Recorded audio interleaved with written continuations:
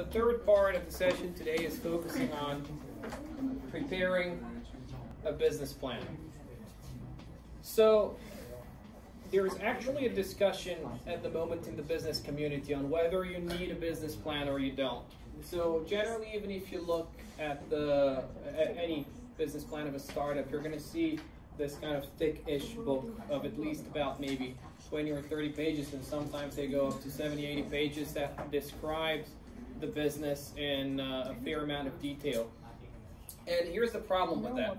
Not everybody has time to read through your business plan, let alone to read it carefully and understand it, especially uh, people who are screening projects or investors. They're busy people. They get hundreds of um, entrepreneurs approaching them every day. They have to screen projects quickly. So uh, the question is to start with whether you need a business plan. So as we're talking about uh, the different sections of a business plan, etc., uh, keep that question in mind and we're going to get back to it towards the end. So uh, first of all, where does this come uh, in the process of entrepreneurship? Well, first you start with the initial preparation, you come up with ideas, you filter the ideas, which of the ideas are uh, relevant to the market, which of them are economically viable, meaning we can, if you're producing something, produce cheaply and sell with a good margin, etc. Can you get protection of that idea, intellectual copyright, and then number four, you get to make a business plan, and after that you get to look for funding. So the business plan comes before looking for funding or reaching out to investors. Uh, so first we're going to talk about the business plans this part of the lecture, and then in the next one we're going to talk about reaching out to investors, venture capital, um, angel investors, etc. So first of all, when you're starting a business plan, consider what's your business model. There are different types of business models, but some of the uh, main questions that you're going to have to think about are, what is our project? What is our service? How does it create value for people? So how does it give them, for example, it might be something that they already have but at a cheaper price, or it might be something that they don't have access to, or it might be something that uh, gives them uh, a, a, good uh, a, way of doing something in a different way. Uh, who are the customers? Who are the clients? So if you don't have clients, you don't have a business. Businesses are based on their clients and their user base. Number three, how are you going to promote your product or service to them? So is this something that they already know about or is this something that you're going to have to educate them about? Are you going to do this online or are you going to hold workshops or are you going to focus on um, a marketing campaign, for instance, a guerrilla marketing campaign on the streets with people handing out flyers, etc. Number four, how are you going to generate revenue? How are you actually going to make money? Where does the money come from? There might be multiple sources of revenue. There might not be one source of revenue. Uh, and number five, what are your strategic objectives and how are you going to achieve them? So how do you see that business developing? One year from now, three years from now, five years from now? What are your goals? What are your milestones? What type of company do you want to be? If one day you get big enough to go and launch an IPO, what kind of, of, of a vision do you have for that business? So why do you need to write out uh, a business plan? Well, usually uh, we get these three reasons quoted. Number one, you articulate your vision for the business. Number two, you document how you plan to solve the key challenges that you're going to face. And number three, you pitch your business idea to potential investors based on that plan. So there are different types of people, different groups of people that are going to read your business plan.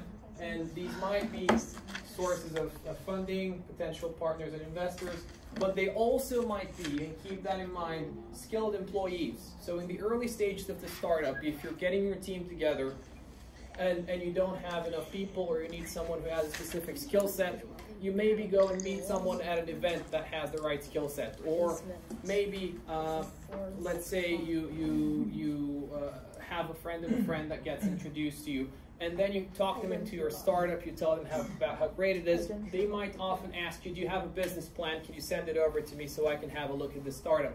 So skilled employees that you're looking to hire in the early stages might be interested in your business plan. And finally, potential joint ventures. Um, if you're if you're looking at um, at uh, partnering up with uh, someone else for a joint venture. Now, when you're writing a business plan, make sure to consider first of all um, your own viewpoints? Does it fit your goals, your aspirations, your skill set, etc.? Number two, consider the clients and the audience's viewpoint. So, does it make money from a client's perspective, a customer's perspective, to, to spend money on your service or on your product? Uh, and this is a crucial viewpoint to consider. Number three, the investor's viewpoint. So, how much money do they need to invest? Uh, what do they get in return for that investment? How much profit do they make? When are they going to make return on that investment? How much investment are they going to get uh, uh, uh, dripping down in the future, being generated for your business? And also number four, the partner's viewpoint. So especially uh, if you're doing something more complex in the services sector, uh, you might consider partnering with a number of other companies. They might be more established. What are the benefits uh, for these companies to partner with you? Now, the business plan usually has, uh, well, roughly has four types of parts that I'm going to talk to you about very briefly. So first we're going to look at the uh, introductory part that you can see here on that slide. Then we're going to move on to the analytical part, the conceptual part, and finally the operational part. So I'm going to go through them one by one briefly. So the introduction part has a few key elements. First, and probably most important, you have the executive summary. So every time somebody doesn't have enough time to read the business plan or another type of document, they read the executive summary. That's going to be the most read part of your business plan. So make sure your executive summary is concise, make sure that it's on point, make sure that it's well written, and also make sure that it's written in a very positive tone. So uh, the, the, the executive summary is not necessarily written the way that, for instance, you might write an academic uh, abstract or an academic essay uh, for your business degree. The executive summary might be written from the perspective of encouraging the readers to get on board with the project. Uh, of course, you have to give a brief introduction to your enterprise or your business. You also have to articulate these three elements, your mission, your vision, your goals. And these three are well articulated uh, in a separate kind of, uh, in separate sections of the plan on, on three separate lines. You could highlight, for instance, the words, and then you could bring the attention of the readers to them. Uh, finally, you have to make sure that you're pointing out your competitive advantage. So how, what, what makes you unique on the market? How do you compare against your competition? Why should your company uh, exist and succeed in the market? What makes it different? What makes it unique? What brings the value proposition to potential users, investors, etc. Uh, and also, of course, you have to describe briefly the goods and or services that you offer and your plans for uh, the future development of the company. The second type of content that you include in a business plan um, usually has to do with the following elements. So first of all, you identify the business opportunity or the social opportunity. Then you provide evidence explaining how or why the opportunity is viable. So this might include things like market research, you show what your user base is currently or what your potential user base is, etc. It might have to do with also things like trends. It might have to do with economic and political conditions that are changing. Uh, so you might want to jump onto a wave uh, like an emerging market. Um, and, and this is something that you need to show and provide evidence for. It's not just something that you can mention and uh, leave right there. Uh, number three, we have to present research results from industry and market analysis. So again, uh, hammering on the same point, you need to be providing more or less evidence for these things.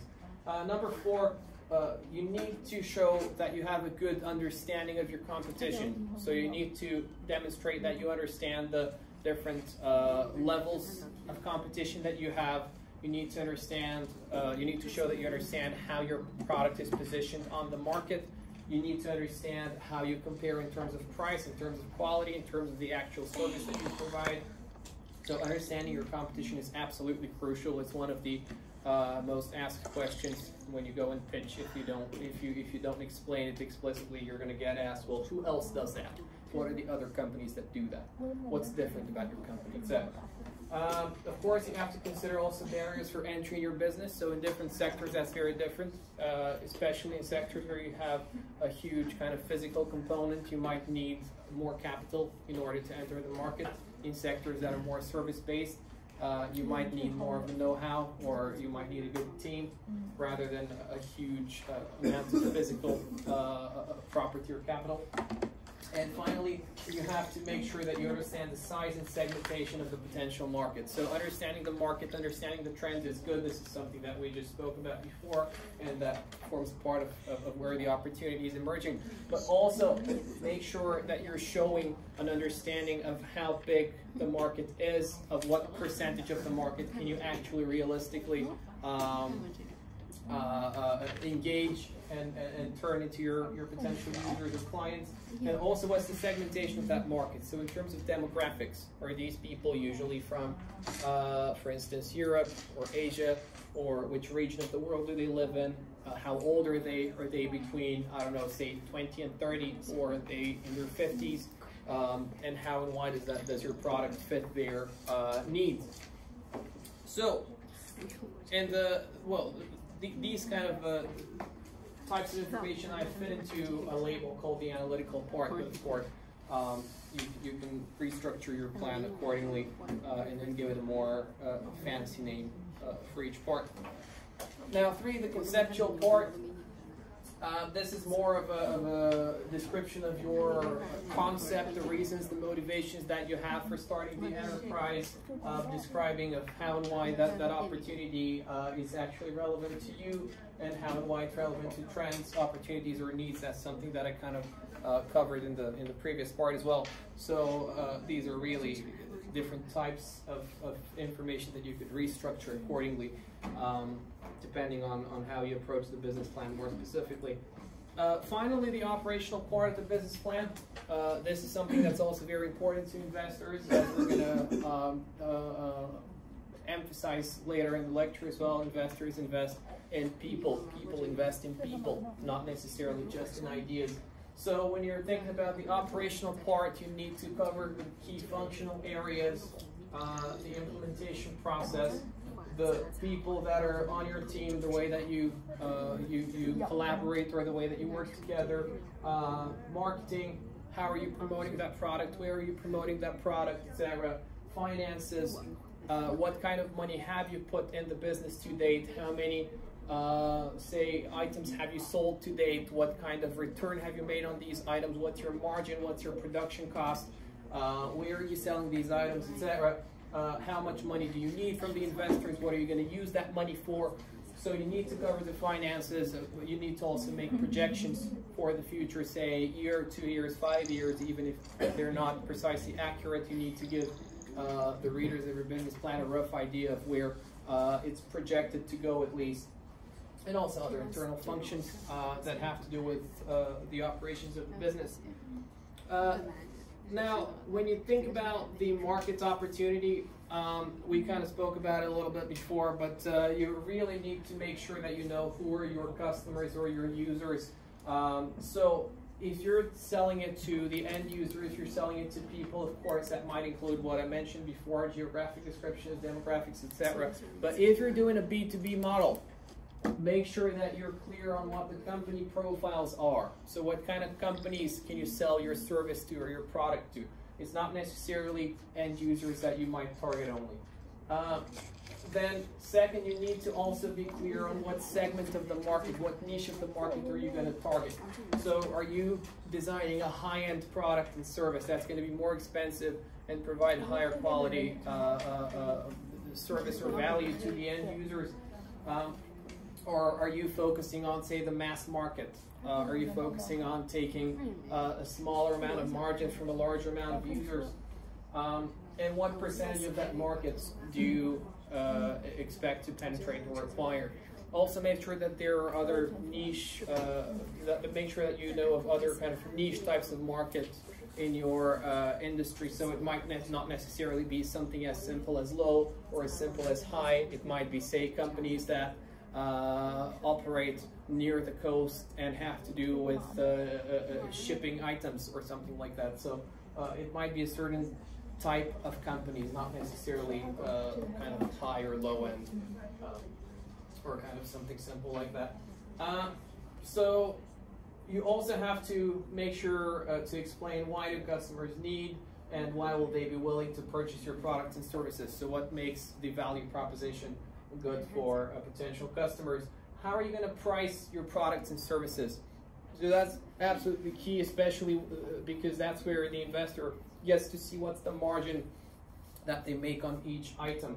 Um, and um, will you be the low cost provider or provide value added services at a higher prices? So along the business chain, if you're, for instance, if you're providing B2B service, um, services might be at the more expensive end, but if you're providing B2B, for instance, uh, a, a, product, then you might be selling uh, at the lower end to other businesses, and then they might be adding extra value to the products that you're selling, so you might be further down the value uh, chain in either case, you should make sure that uh, you know how much do you have to pay per item or for a certain service to be delivered and how much do you charge for that service or for that item to be delivered and then what's the margin that you make in the middle.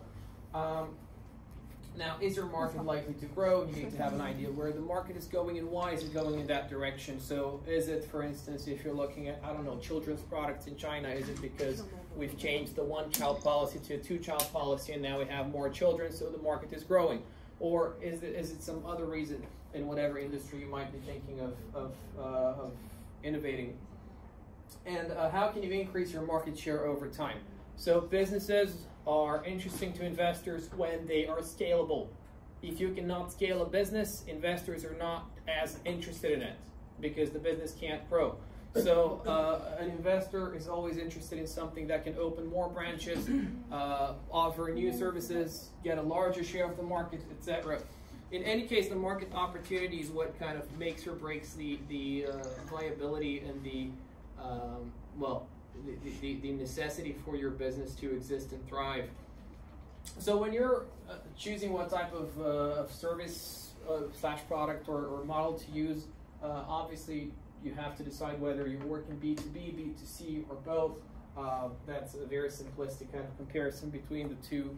Um, obviously, there, there's kind of uh, things that you, you already know in one of the companies is your client and the other is the end user. But mm keep in mind that there are other implications of that down the line. So for instance, if you're doing B2B and, uh, and the, the company is your end user, you need to focus on the relationship that you have with the company rather than the product itself. Um, because say if you're selling something online on, I don't know, Amazon or Taobao or whatever, you sell something, you get the money, you put it in your pocket, deal done. But if you're working with a company that wants to uh, subscribe to your product and that wants to sign a one-year contract, two-year contract, even if it's for something simple. So think of all the supermarkets, think of all the uh, the fast food chains. They're getting uh, raw products, they're getting vegetables, beef, etc. They're not signing these on a deal-by-deal -deal basis. They have a one-year supply contract, two-year supply contract, etc. So it's the relationship in the B2B model that matters most. Uh, and it's also a long-term uh, engagement here so uh, there's a lot more kind of trust and uh, and uh, and relationality in the B2B models as compared to the, the B2C models. Of course, that's kind of changing a little bit with the with the uh, the rise of, uh, of, of, products turning into services, subscription models, etc. But uh, keep it in mind as a general point. Um, also, of course, there's online business models that are becoming increasingly popular. So you might be thinking of selling your products or services on an online platform. You might be thinking of subscription that I've been hammering about um, in the past couple of sessions. You might be even thinking about things like live streaming, uh, things like promoting your products with uh, kind of young and popular vloggers. Uh, you might be thinking of establishing a fan base, fan pages, uh, whatever it might be, Facebook, Weibo, whatever you might choose to, to establish here and and uh, make sure you gather a fan base for your product.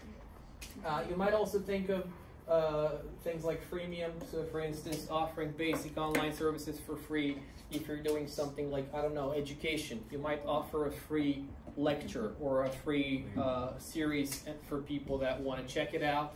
And after that, if they like it, then they subscribe and then they pay for the rest of your service. Uh, there's endless uh, uh types of, of, of uh, kind of varieties of business models, but in either way, in either case, uh, kind of you have to uh, you have to make sure on what your business model is, how it generates revenue, and what makes this business money. So, uh, we started with the question on uh, whether you should prepare a business plan, and there are people who are actually arguing that it's not necessary to prepare a business plan because it's too time consuming, because it's an outdated mode of setting up a business, because nobody has time to read it, etc. Now, I can't make that decision for you. I can't tell you whether you have to prepare a business plan or you don't have to. That obviously depends on a lot of things. If you're getting funding from uh, someone who has a personal relationship with you, then they might not be interested in a business plan. If you're thinking of approaching venture capitalists, then you probably must get a, a business plan done because they're going to want to have a look at it. Um, either case, in either case, uh, keep two things in mind. So the first one is the elements of a business plan are things that you should know, uh, like like the back of your hand, basically. So uh, if somebody is, is talking to you about the business and they just ask you, wait, so can you stop for a minute? Tell me how much is your is your production cost? How much is your margin? Uh, what are your sales channels? Who are you partnered with? These are things that you should know off the top of your head, essentially. Um, so that's the first thing that I wanna I wanna uh, kind of emphasize for you. And the second one is in either case, you need to prepare a pitch deck. So a pitch deck is uh, a short presentation of uh, around, so it depends, but it might be 10, 20, sometimes even up to 30 slides sometimes. But uh, the point is, it's a short presentation that emphasizes the key points and the key elements of the business that somebody can uh, have a look through fairly quickly.